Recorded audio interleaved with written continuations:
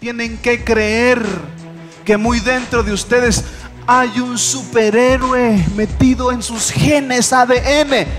Por eso yo me puse la playera de los Avengers.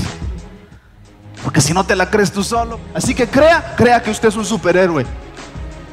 ¿Y por qué no cree que dentro de usted hay un superhéroe? Que la gente lo admire por cómo vive. Que su familia lo admire por cómo es.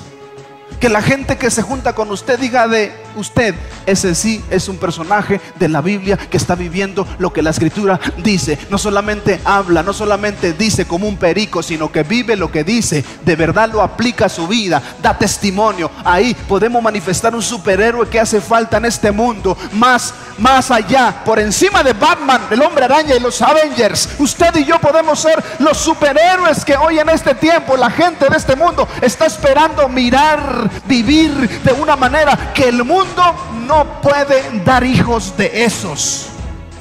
Solo Jesucristo.